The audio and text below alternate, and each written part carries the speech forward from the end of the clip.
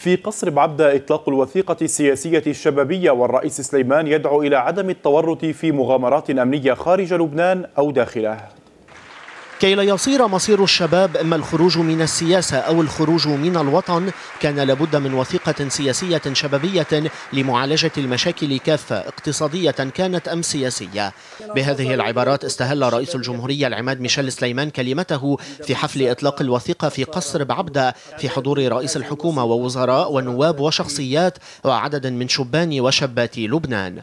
رئيس الجمهورية أشار إلى الأزمة الوطنية الناشئة وفق رأيه من تعثر الحوار الانهيار والعجز عن الوصول إلى مخارج للأزمات. لا تكرروا ما فعله جيل الشباب قبلكم. عندما انساق فصار وقود الحرب وضحية التسويات. لا تتورطوا في مغامرات أمنية أو عسكرية. في داخل لبنان وخارجه تحت عناوين أو لأجل أهداف غير متوافق عليها وطنيا. سليمان جدد التشديد على أهمية الحوار داعيا إلى التبصر بما نحن فيه من قطيعة وانقطاع في منار الجوار تقترب والاستحقاقات المالية والدستورية تدهمنا. وبما أننا نقترب من موعد الانتخابات النيابية التي سنصر ونجهد لإجرائها قد يكون من الضروري الضغط على الأقطاب والمرشحين بغية إنتاج وعي جديد يأخذ في الاعتبار احتياجات الجيل الجديد وتطلعاته. كما لا بد لنا من أن نعمل على إقرار قانون عصري جديد ينسجم مع روح الدستور.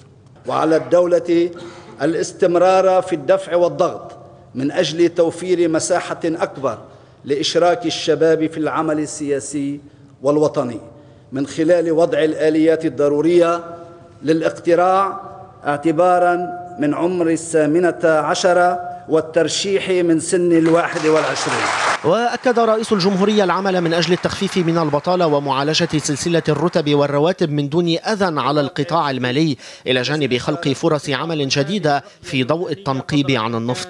هذا وتحدث مشاركون في الحفل وأبرزهم وزير الشباب والرياضة عن أهمية الوثيقة السياسية الشبابية والأهداف التي ستحققها.